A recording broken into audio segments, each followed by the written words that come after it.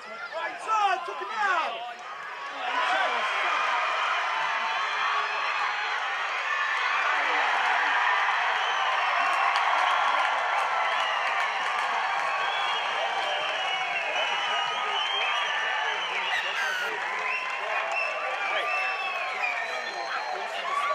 there for the McDonald Showcase Jewelers by Brett Anderson, the four. And Brett's jersey sponsor is Horton Construction.